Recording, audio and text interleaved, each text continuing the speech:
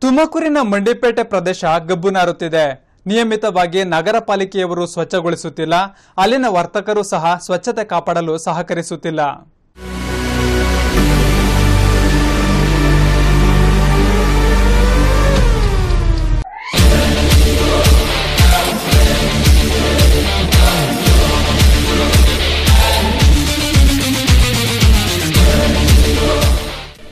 ಧೂಳು ಎಲ್ಲೆಡೆ ಕಸದ ರಾಶಿ. ಹಳ್ಳ ದಿಣ್ಣೆಗಳಿಂದ ಕೂಡಿದ ರಸ್ತೆ ಇದು. ತುಮಕೂರಿನ ಮಂಡಿಪೇಟೆ ಮುಖ್ಯ ರಸ್ತೆಯ ಸ್ಥಿತಿಗತಿ ಬಗ್ಗೆ ವಾರ್ತಕರು ಆಕ್ರೋಶ ವ್ಯಕ್ತಪಡಿಸಿದ್ದಾರೆ. ತುಮಕೂರಿನ ಮಂಡಿಪೇಟೆಯ ಚರ್ಚ್ ವೃತ್ತದಿಂದ ಸರ್ಕಲ್ವರೆಗೆ ಇಡೀ ರಸ್ತೆಯು ಧೂಳುಮಯದಿಂದ ಕೂಡಿದೆ.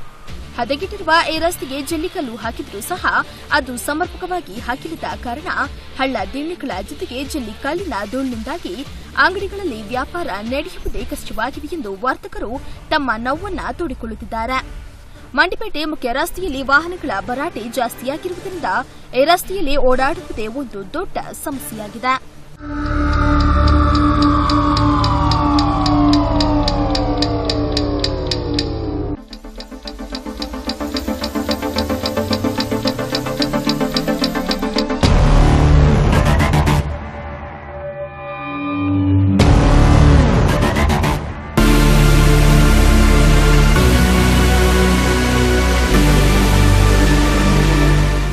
ಮಂಡಿಪೇಟೆ ಮುಖ್ಯ ರಸ್ತೆಯಿಂದ ಗುಬ್ಬಿಗೇಟ್ ವರೆಗಿನ ರಸ್ತೆಯ ಏಕಲಗಳಲ್ಲಿ ಎಲ್ಲಿ ನೋಡಿದ್ರೂ ಕಸದ ರಾಶಿ ಕಾಣುತ್ತದೆ. ಖಾಲಿ ಜಾಗ ಸೇರಿದಂತೆ ರಸ್ತೆ ಬದಿಗಳಲ್ಲಿ ಕಸವನ್ನ ಬೇಕಾಬಿಟ್ಟಿ ಹಾಕುವುದರಿಂದ ನೊಣ ಸೊಳ್ಳೆ ಸೇರಿದಂತೆ ವಿವಿಧ ರೀತಿಯ ಹುಳುಗಳ ಕಾಟ ಜೊತೆಗೆ ದುರ್ನಾತ ಬೀರುತ್ತಿದೆ.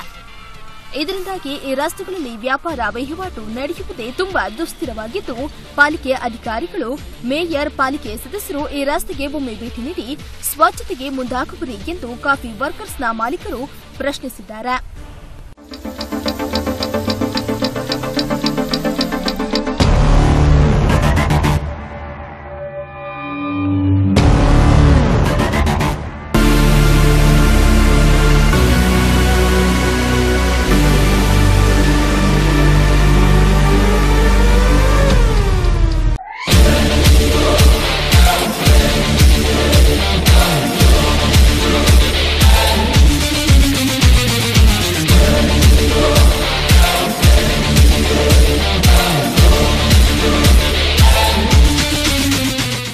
ಪಾಲಿಕೆಯ ಪೌರ ಕಾರ್ಮಿಕರು ಆಗಾಗ್ಗೆ ಈ ರಸ್ತೆಯ ಸ್ವಚ್ಛತೆಗೆ ಮುಂದಾಗುವರೆ ಎಂದು ನಾಗರಿಕರು ಪ್ರಶ್ನಿಸುತ್ತಿದ್ದಾರೆ.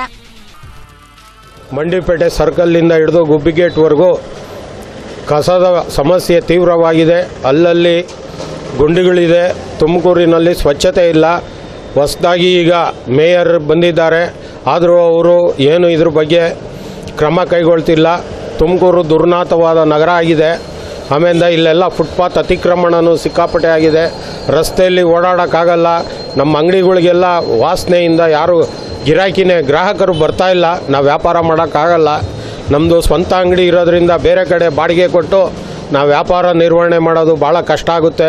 ಆದ್ದರಿಂದ ಆಯುಕ್ತರು ಹಾಗೂ ನಗರಸಭೆಯ ನಮ್ಮ ಕಾರ್ಪೊರೇಷನ್ನಿನ